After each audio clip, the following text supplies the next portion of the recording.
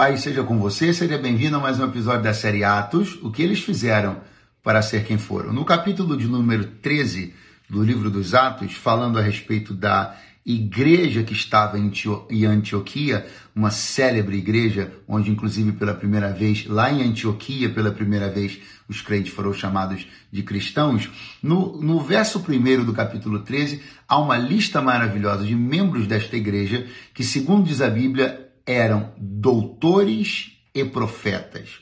Veja os nomes da lista de doutores e profetas: Barnabé, Simeão, chamado Níger, e Lúcio, Sirineu, e Manaém, que fora criado com Herodes, o tetraca, e para fechar a lista, Saulo. Chama-me a atenção a presença de um homem chamado Manaém, que diferentemente dos outros membros da lista é dado uma atenção maior em relação a sua origem é o seu passado, quando a informação bíblica é de que ele fora criado com Herodes o tetraca. Aquele, aquele Herodes que Jesus chamou de raposa. Aquele Herodes que fora denunciado seus pecados por João Batista, que mandou prender João Batista e que depois veio a, a pedido de Salomé mandar decapitar João Batista no cárcere. Foi exatamente com este Herodes que o homem que ou é profeta, ou é doutor, ou é profeta, ou é doutor na igreja de Antioquia, foi criado. Criado com ele. Eu disse criado com ele, eu não disse criado por ele. Eu disse criado com ele, eu não disse criado para ele.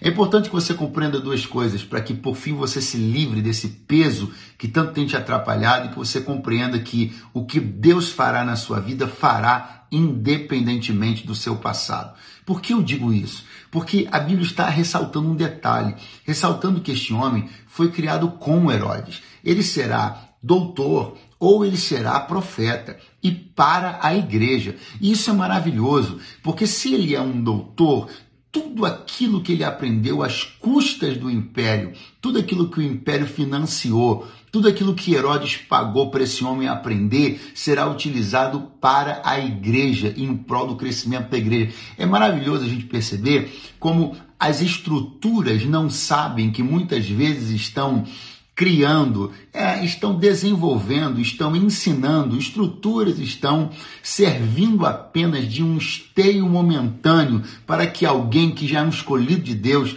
possa ser poderosamente por, usado por Deus no futuro. É maravilhoso porque se foi doutor, foi ensinado para a igreja. Se foi doutor, aprendeu o que aprendeu, mas não usou para o império, usou para a igreja.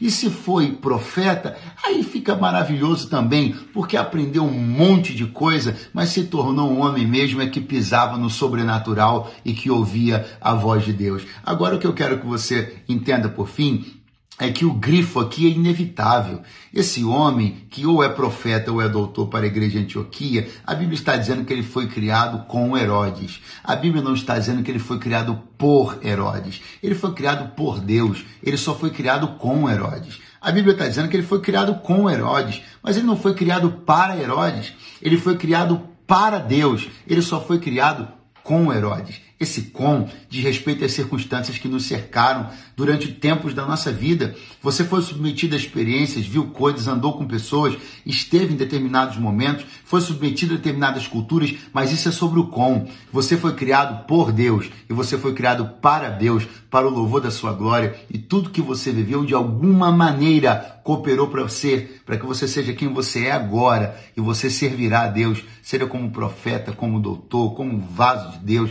como levita, seja como for, para a igreja de Antioquia, para a igreja do Rio, de São Paulo, da Paraíba, para a igreja de Pernambuco, para a igreja da América, para a igreja na Europa, você será usado por Deus, porque não importa com quem você foi criado, importa por quem você foi criado e para quem você foi criado. Deus te abençoe.